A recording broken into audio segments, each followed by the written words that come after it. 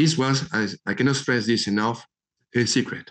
It was not to be repeat, repeated or drawn or written, not. And it was promised to him that it would not be.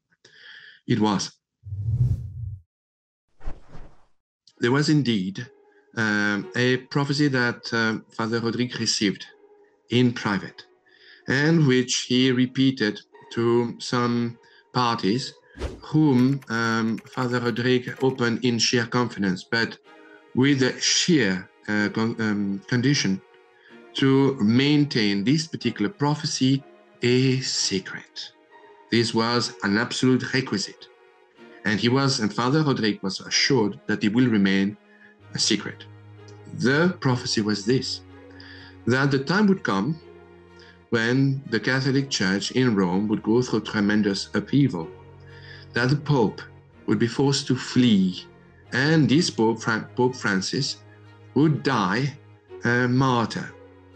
In the course of this period of time, Pope Emeritus Benedict XVI would, in that particular moment of gravité, try to gather the church and for, form some sort of council. Again, Father Rodrigue will be able to explain that considerably more capably than I.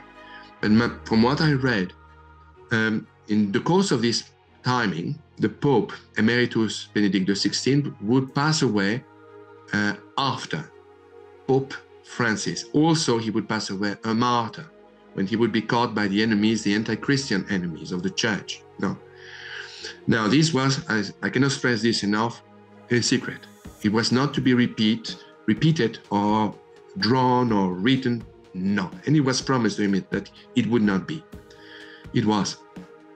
And from the moment forth when, uh, on I think the end of the year, uh, His Holiness uh, Benedict XVI passed away, immediately uh, a battalion of critics fell upon uh, Father Rodrigue without giving him a chance to respond, without trying to understand what on earth could have possibly have changed the course of events, which for those of us who have studied, who have been involved in Marian apparition site, we know that prophecies change constantly. You don't have to look very far, uh, John Henry, to see how uh, decrees uh, issued by God Himself change because of the response of humanity. Let's go even to the Old Testament, Jonas, Nineveh. It was decreed that Nineveh would be pulverized, leveled, because of the deplorable sins of its inhabitant and its king. And yet Jonas was sent to convert the people. He did. And what was decreed by God was changed. So I'll finish.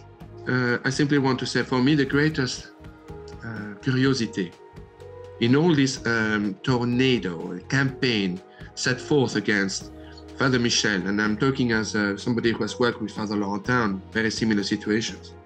The thing that surprised me the most is the vigor and the animosity, the unjustness of those who attack, criticize, condemn, take a stone in their hand and throw it to Father Rodrigue without giving him a chance to first explain himself. And Father Rodrigue, all he did since then was exactly what a Catholic ought to do give the other cheek and pray for his uh, opponents. I think for the time being, I said enough. I leave the floor to Father Rodrigue.